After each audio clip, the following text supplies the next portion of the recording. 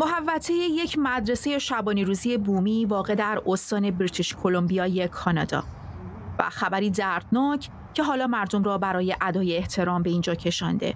سالها پیش کودکان در این محوطه بازی می کردند ولی حالا معلوم شده در تمام این سالها این منطقه محل دفن اجساد گروهی از آنها بوده. 215 کودک در حیات این مدرسه دفن شدهاند که بینشان کودک سه ساله هم دیده می شود. هویت اجساد معلوم نیست و احتمال می رود جنازه های بیشتری هم پیدا شوند. در زندگی هیچ چیز دردناکتر از از دست دادن کودک نیست.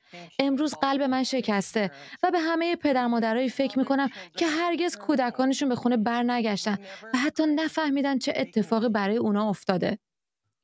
مدرسه کملوبس در سال 1890 توسط کلیسای کاتولیک تأسیس شد و در آن کودکان بومی کانادا درس می‌خواندند. کودکانی که از خانواده هایشان دور می شدند تا زبان مادری را فراموش کنند و زبان انگلیسی یاد بگیرند. حالا انتشار خبر کشف گور دست جمعی کودکان کانادا را در بهت و شک فرو برده و نخست وزیر کانادا آن را شرم آور خوانده. خبر کشف بقایای اجساد کودکان در مدرسه شبانه روزی کمپلوس قلب مرا شکست. این اتفاق یادآوری دردناکی است از بخشی از تاریخ سیاه و شرماور کشورمان. اشاره جاستین تروجو به بخشی از تاریخ کاناداست به نسل کشی بومیان کانادا از قرن 19 تا دهه 70 بیش از 150 هزار کودک بومی کانادا از خانواده هایشان جدا و در مدارس مذهبی با قوانینی بسیار سخت مجبور به تحصیل در مدارس مسیحی شدند.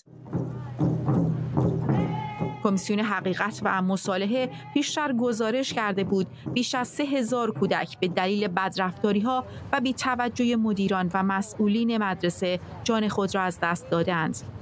و بسیاری از آنهایی که زنده ماندند به گفته رهبران بومیان دچار اعتیاد به مواد مخدر و الکل شدند.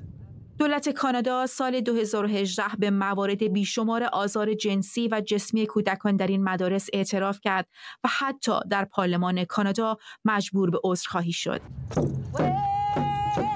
از آن عذرخواهی و اعتراف تکان دهنده سه سال میگذرد و حالا کشف این گور دست جمعی کودکان دانش آموز بار دیگر زخم کهنه ای را در کانادا باز کرده است.